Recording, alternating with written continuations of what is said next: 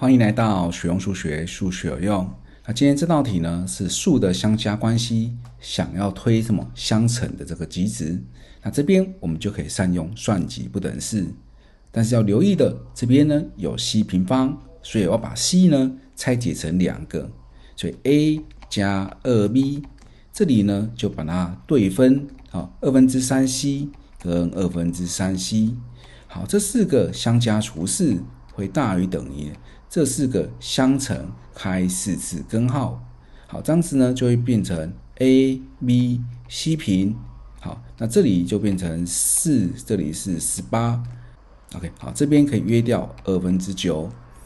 那原式呢说这个是十二，所以带进来，所以三把它四次方大于等于。这边的话是二分之九的 a b c 平，因此呃我们再来约分。啊，九约掉呢，这边是九，所以 a b c 平就小于等于十八。好，所以这里的关键手法就是什么？哎，加的转换成乘的，你要利用算几不等式，但是有平方呢，要对加的项呢做一个对分的操作。